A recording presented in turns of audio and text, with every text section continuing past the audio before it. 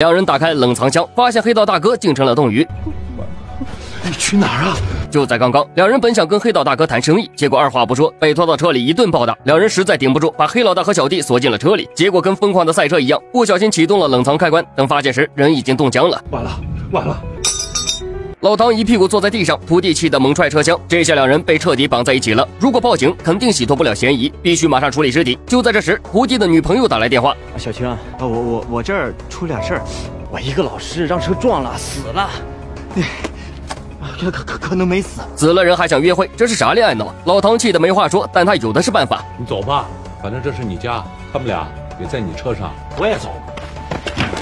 哎。”他们什么意思啊？夏言怒了，他认为这一切都是老唐的锅。可老唐十分淡定，当初约着见黑蛇也是你同意的呀。我没同意，请他上来，是你威胁我的。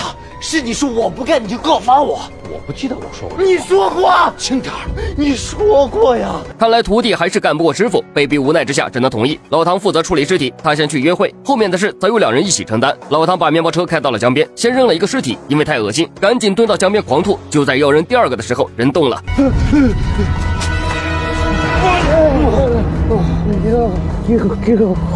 扔尸体跟扔真人还是不太一样，老唐过不去心里那关，他连忙给徒弟打电话，可徒弟现在正忙着。相恋五年的女友因为家里穷，要嫁给大他十几岁的老头，夏言干脆关了机。老唐看没人回复，直接把黑老大带到了徒弟家，还拿来所有取暖用品，烧上了热水，他准备把人救活，因为这黑老大掌握着制作伪钞的纸张。这时夏言已经被女友带去开房了，女友要在嫁人之前把自己交出来，可夏言现在没一点感觉。在等女友洗澡的时候，他终于开了机，结果得知黑蛇还没死的消息，这下他彻底没心思了。